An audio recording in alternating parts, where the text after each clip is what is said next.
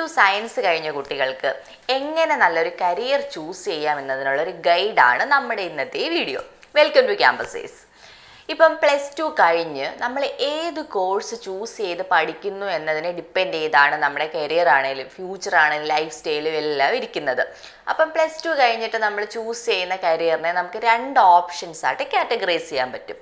ഒന്നാമത്തത് നമുക്ക് ഇഷ്ടമുള്ള പാഷനേറ്റ് ആയിട്ടുള്ള ഒരു കരിയർ ചൂസ് ചെയ്യുക എന്നതാണ്. രണ്ടാമത്തത് എന്താ ജോലി സാധ്യതയൊക്കെ നോക്കി അതുപോലെ സാലറിയൊക്കെ ഭാവിയിൽ കിട്ടാൻ ചാൻസ് ഉള്ള ഒരു കരിയർ ചൂസ് ചെയ്യുക എന്നതും. ഇതിൽ നിങ്ങൾ രണ്ടാമത്തെ കരിയർ ആണ് നോക്കുന്നതെങ്കിൽ അതായത് ജോലി സാധ്യത കൂടിയ നല്ല സാലറി ഓപ്ഷൻസ് ഒക്കെ ലഭിക്കാൻ ചാൻസ് ഉള്ള ഒരു കരിയർ ആണ് നോക്കുന്നതെങ്കിൽ നിങ്ങൾക്ക് മുന്നിലുള്ള ബെസ്റ്റ് ഓപ്ഷൻസ് ആണ് മെഡിക്കൽ ഫീൽഡും ഐ ടി ഫീൽഡും ഇതിന് കാരണം എന്തെന്നാൽ ഈ രണ്ട് മേഖലകളെയും നമ്മൾ ഒരുപാട് ഡിപ്പെൻഡ് ചെയ്യുന്നുണ്ട്. ഇപ്പം ഉദാഹരണത്തിന് മെഡിക്കൽ മേഖല പറയുവാണെങ്കിൽ നമുക്ക് എല്ലാവർക്കും അറിയാം ലൈഫ് ത്രട്ടണിങ് ആയിട്ടുള്ള ഒരുപാട് ഡിസീസസ് ദിനം പ്രതി കൂടിക്കൊണ്ടിരിക്കുകയാണ്. അപ്പം അങ്ങനെ ഒരു സാഹചര്യത്തിൽ മെഡിക്കൽ മേഖലയുടെ ഇമ്പോർട്ടൻസിനെ പറ്റി കൂടുതൽ പറയാതെ തന്നെ നമുക്ക് എല്ലാവർക്കും തന്നെ അറിയാം.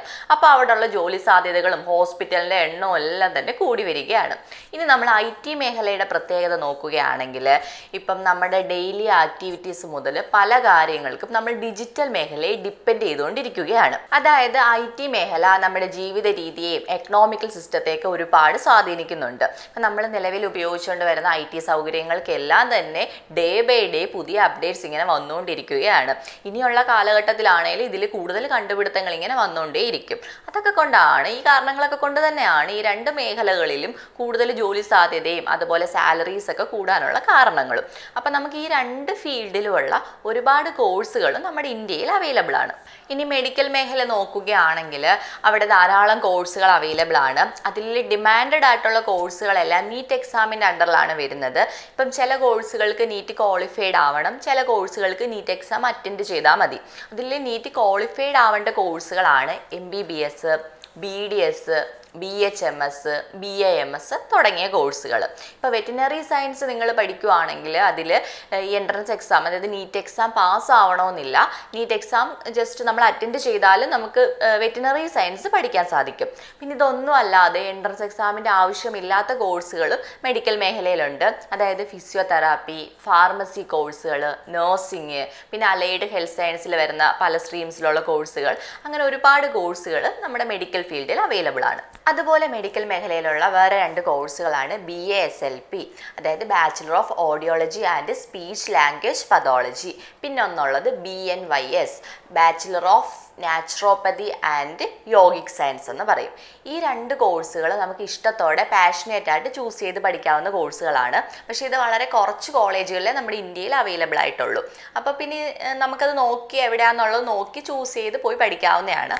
അപ്പം ഇതൊക്കെയാണ് മെഡിക്കൽ മേഖലയിൽ നമുക്ക് ഇന്ത്യയിൽ അവൈലബിൾ ആയിട്ടുള്ള ഒരുപാട് ജോബ് ഓപ്പർച്യൂണിറ്റീസ് ഒക്കെ ഉള്ള കോഴ്സുകൾ ഇനി ഐ ടി മേഖല നോക്കുകയാണെങ്കിൽ പരമ്പരാഗതമായി പഠിച്ചു വരുന്ന കോഴ്സുകളാണ് B S C computer science B C A bachelor of computer application അതുപോലെ ബി ടെക് കമ്പ്യൂട്ടർ സയൻസ് തുടങ്ങിയ കോഴ്സുകൾ.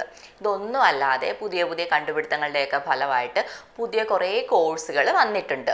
അവയിൽ പ്രധാനപ്പെട്ടതാണ് artificial intelligence and machine learning അതുപോലെ തന്നെ cloud computing virtual reality augmented reality internet of things അങ്ങനെ കുറേ കോഴ്സുകൾ പുതുതായിട്ട് കണ്ടുപിടിച്ചിട്ടുണ്ട്. അപ്പോൾ ഇത്തരത്തിലുള്ള കോഴ്സുകളൊക്കെ ഇന്ത്യയിലെ പല കോളേജുകളിലും അവൈലബിൾ ആണ്. അപ്പോൾ നമ്മുടെ ഇനി വരാൻ പോകുന്ന ഡിജിറ്റൽ യുഗത്തിൽ ഈ കോഴ്സുകളൊക്കെ പഠിച്ചു കഴിഞ്ഞാൽ ഇന്ത്യയിൽ മാത്രമല്ല ലോകത്ത് എവിടെ വേണമെങ്കിലും നമുക്ക് ഒരു സേഫ് കരിയർ ഹൈ സാലറിയിൽ ഒരു സേഫ് കരിയർ നമുക്ക് ഉറപ്പുവരുത്താൻ കഴിയും. അപ്പം ഇത്രയൊക്കെയാണ് മെഡിക്കൽ മേഖലയിലും നമ്മുടെ ഐ ടി മേഖലയിലും ഉള്ള നമുക്ക് നല്ല ഒരു കരിയർ ഓഫർ ചെയ്യുന്ന കോഴ്സുകൾ ഇനി നിങ്ങൾ ക്രിയേറ്റീവായിട്ട് ചിന്തിക്കുന്ന കുട്ടികളാണെങ്കിൽ നിങ്ങളുടെ ഇഷ്ടത്തിനും അഭിരുചിക്കും അനുസരിച്ച് മാത്രമേ നിങ്ങളൊരു കോഴ്സ് ചൂസ് ചെയ്ത് പഠിക്കാവൂ.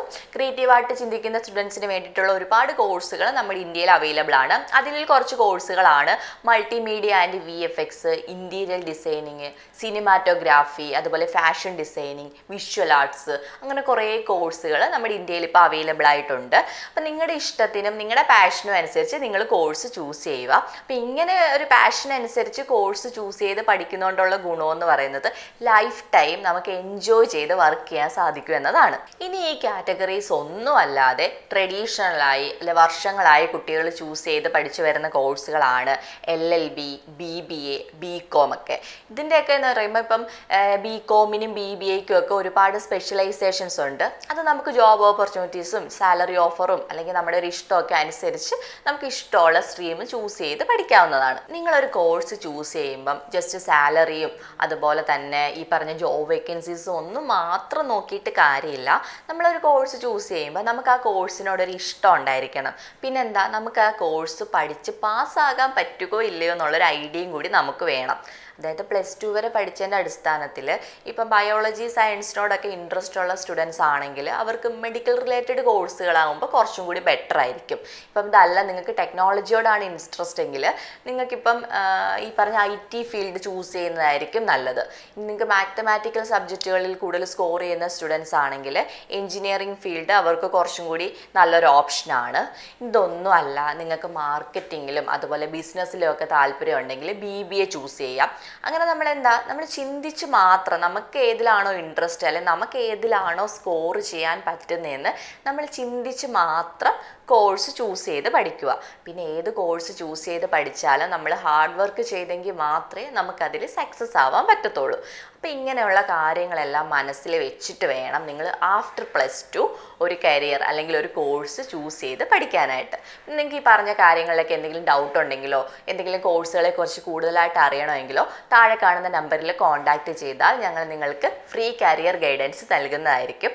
നമ്മുടെ ഈ വീഡിയോ ഇഷ്ടമായെങ്കിൽ ലൈക്ക് ചെയ്യൂ ഷെയർ ചെയ്യൂ കമന്റ് ചെയ്യൂ. കൂടുതൽ വീഡിയോകൾക്കായി നമ്മുടെ ചാനൽ സബ്സ്ക്രൈബ് ചെയ്യൂ.